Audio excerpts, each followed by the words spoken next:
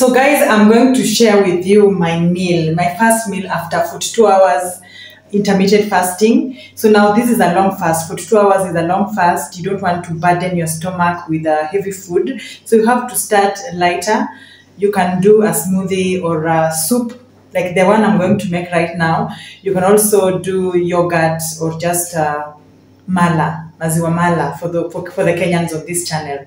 So thank you so much for clicking on this video. Please subscribe, guys. So please subscribe and then enjoy the family. So now, guys, our ingredients are uh, we have the pumpkin, we have leeks, and we have uh, our carrots. So now let's begin the process.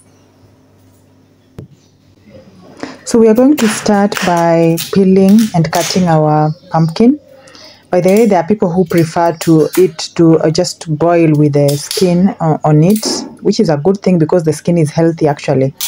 And uh, after all we are going to be making soup so that means that uh, we are going to blend it. So but personally i just prefer to remove it all together so we also remove the skin for the for the carrot which you can also again decide to boil just with it if you like.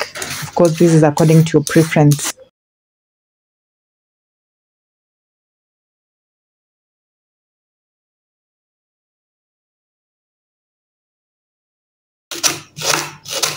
and now we cut the leeks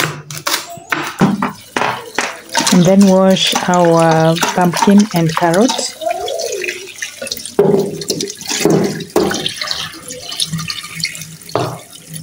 Add some salt.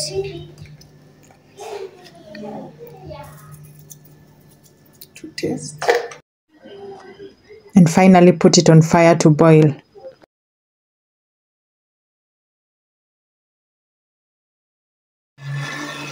After it has boiled and become all tender, you can now put it in your blender and uh, blend to your desired consistency. You see how the color is so beautiful and then after that you can uh, take it back to the sufuria, put it on the fire so that it can boil a little bit before you serve. So that's our soup. Look how delicious it's looking, guys. Look at that. Look at that. And here I am enjoying. Thank you so much for watching. Please subscribe if you haven't.